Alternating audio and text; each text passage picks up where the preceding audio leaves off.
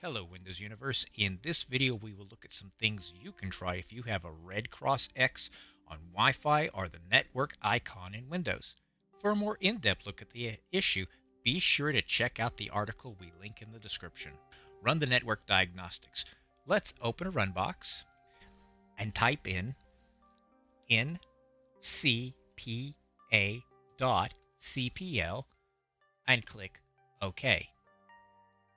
Right click on the network that is giving you trouble and click on Diagnose. If it is possible, the diagnostic will correct the problem. Let's look at disabling and enabling the network drivers. To do this, open the Device Manager. Then look for Network Adapters. right click on the driver that is giving you trouble and select Disable Device. If prompted, click Yes. Then go back to the same driver and click on Enable Device.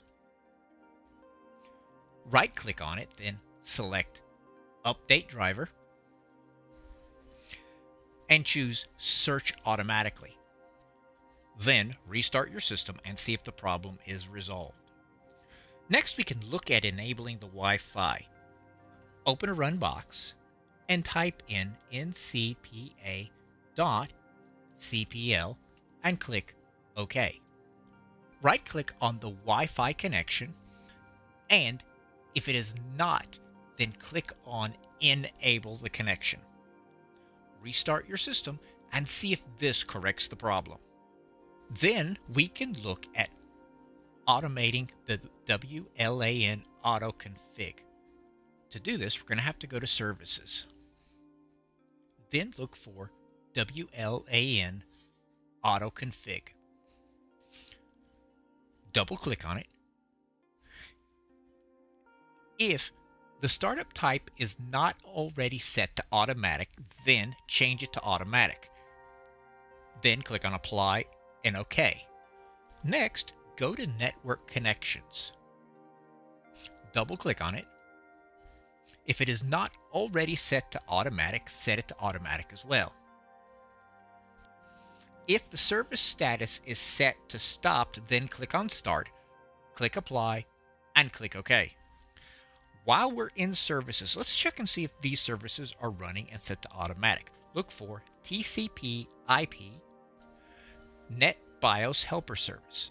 Make sure that it is set to automatic, that it's running, apply OK.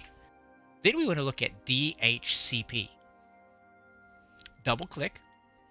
Once again, make sure that it is running, that it's set to automatic. Then go to DNS Client, Automatic, Running, Function Discovery Resource Publication automatic. Make sure that's running. Apply. OK. SSDP Discovery. Double click. Make sure it's set to automatic. Apply. OK. Then restart your system and see if the problem is then resolved. If you are still having problems, then look at whether or not your security software is interfering. It is possible that your antivirus considers it a security threat disable your security temporarily and see if the red X goes away. If it does, then you might need to adjust your security software to allow the network connection. Remember to turn your security software back on after testing this. For more helpful articles to help you maximize your Windows experience, go to our website, thewindowsclub.com.